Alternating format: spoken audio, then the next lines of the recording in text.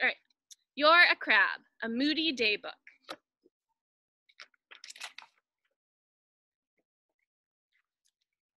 okay, wait, hold on.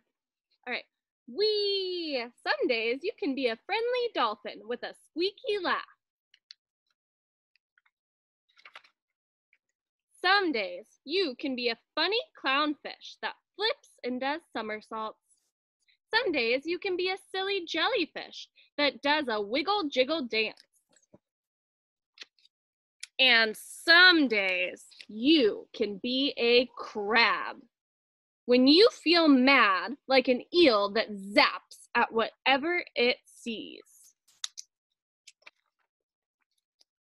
Or mean like a shark that wants to chomp on something squishy. Uh oh, look, he's got some taffy, saltwater taffy he's chomping on. Or frustrated like a turtle that snaps at his lunch but misses. Then you are a crab, a hard shelled, sand in your claws, crabby crab. Don't worry, sometimes I can be crabby crab too.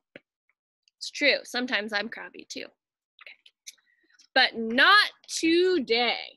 Today, I'm a frog that goes kissy, kissy, kissy. I'm a minnow that wants to tickle your toes. I'm a pufferfish that will hold its breath and make silly faces at you. Today, I'm in a good mood. But when you're not, and you want everyone to leave you alone, go ahead and be a stinky anchovy for a while.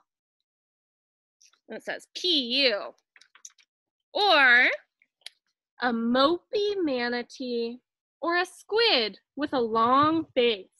Mopey means like sad and tired, and a long face is like an idiom because I mean, a squid does kind of have a long face, but when people are sad, sometimes we say, "Oh, why the long face?" So that's an idiom. Okay. Um, and when you're hungry, tired, and irritable, and feel like blowing your top, be a whale. You can eat, yawn, and burp with one big gulp. And then there's the whale burping. Then I bet you'd feel better. But if you don't, how about I'll be a sea lion and you be a seahorse and we can play ball? Would you like to tap, tap, toss with your tail while I bump, bump, bump with my nose? Or I can be a star, a sawfish and you can be a hammerhead shark and we can build something fun. Would you like to hammer, hammer, hammer while I saw, saw, saw? Or I can be an octopus and you can be a sponge. And then I would have eight arms to hug you and squeeze you and hug you and squeeze you and hug you and squeeze you and hug you and squeeze you. Maybe I'll go ahead and do that anyway. But on really tough days, when you're not in the mood to play at all, you can be a hermit crab. And I can be a hermit crab and we can sit in our shells side by side in the sand until you feel better. You can take as long as you need because I will be right here. By then, I'm sure your mood will change because moods do that. And soon enough, you will be my happy, silly crab again.